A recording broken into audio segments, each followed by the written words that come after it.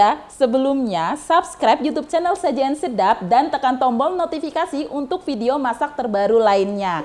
Kalau kamu suka video ini, langsung like, komen, dan share ke sosial media kalian semua ya. Yuk lanjut nonton videonya.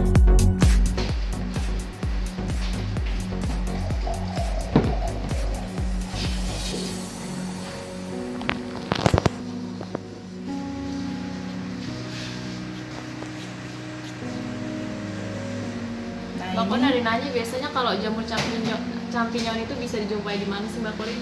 eh, bisa dijumpai di pasar tradisional ataupun supermarket ada. Di tukang sayur juga ada sih, suka ada. Nah, ini kita masukkan pastanya. Nah kalau untuk pastanya sendiri itu bisa diganti dengan aneka macam jenis pasta lainnya juga ya Iya, bisa diganti dengan fettuccine, farfalle, angel hair atau yang lainnya.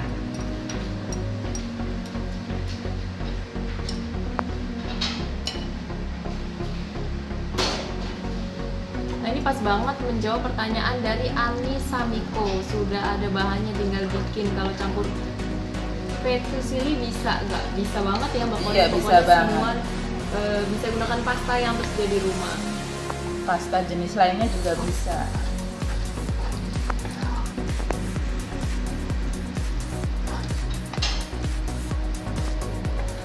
Ini juga ada pertanyaan dari Rilan Adir Mbak, kalau jamurnya bisa diganti nggak dengan jamur yang lain?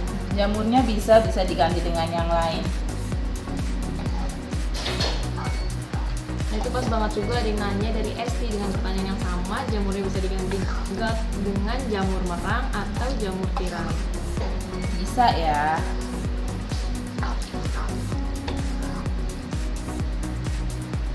Nah, untuk merebus pastanya tadi jangan terlalu overcooking ya. Jadi soalnya ini kan ada proses pemasakan lagi, jadi biar biar di si pastanya tidak terlalu lembek nanti.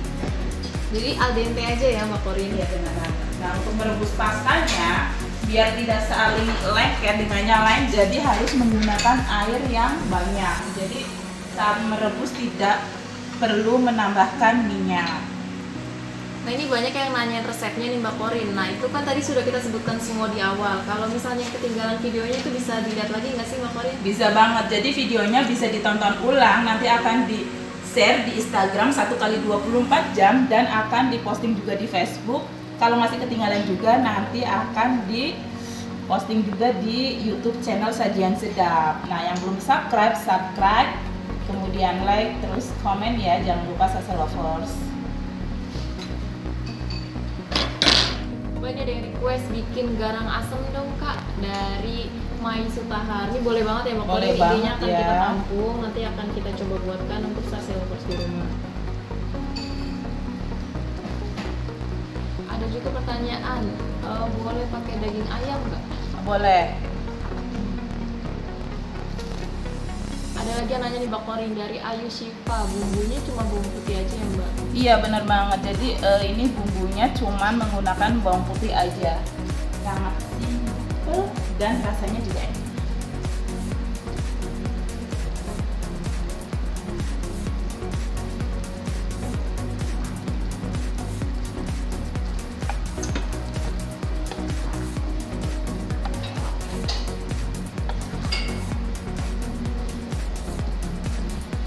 Yang baru bergabung kali ini kita lagi buat apa nih Mbak Korin? Nah kali ini kita lagi membuat creamy pasta. Wah ada, ada yang baru bergabung nih Mbak Arin tanya itu kuahnya santan atau susu? Nah ini susu. Kita menggunakan 500 ml susu cair. Itu pas banget udah dibantu jawab sama Nuning dia. Terima kasih untuknya sudah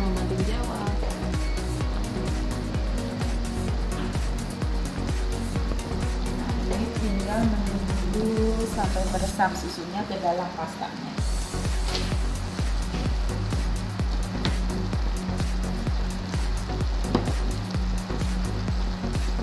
Nah ini ada yang request lagi nih mbak. Dari Devi Renasari sis bikin somai dong.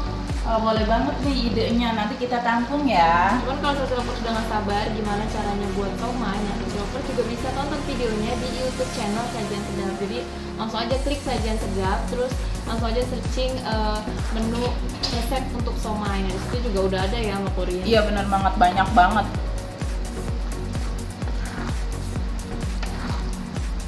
Sebelum live-nya berakhir, lovers boleh banget mau tanya apa aja seputar resep yang kali ini sedang kita buat atau tips-tips dapur lainnya. Nanti akan kita coba bantu jawab sebelum live-nya berakhir. Nah ini sudah matang ya, jadi kita matikan apinya. Keju parmesannya sebagian masuk, sebagian lagi untuk taburan.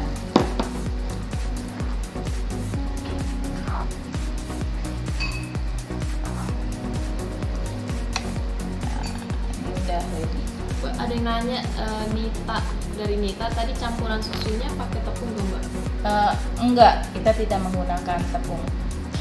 Tapi kalau sase lovers menginginkan Hasil yang mengental gitu? iya hasil yang lebih gitu? creamy dan eh, agak kental, boleh banget nih ditambahkan dengan eh, tepung terigu satu sendok makan sa- sa- dimasukkan setelah daging gilingnya berubah warna.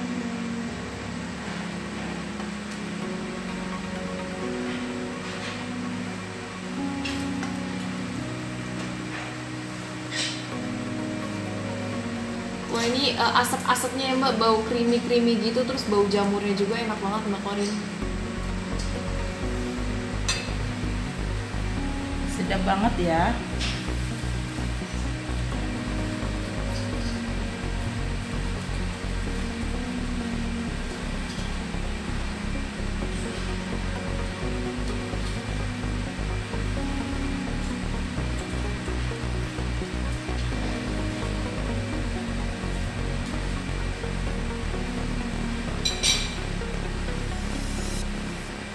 Untuk Ayu Shiva tadi kita menggunakan pastanya spaghetti.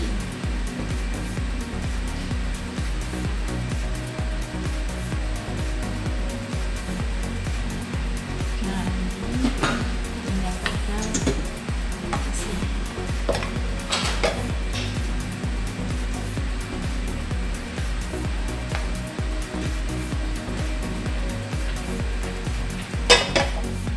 Kita taburkan dengan parmesan.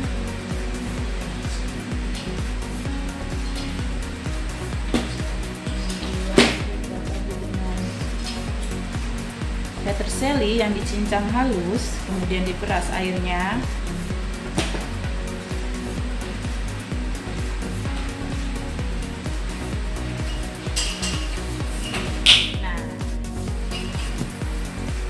tadi bagaimana proses pembuatan creamy pasta. Nah terima kasih buat Sase Lovers yang udah nonton dari awal sampai akhir dan jangan lupa nonton live kita berikutnya. Dadah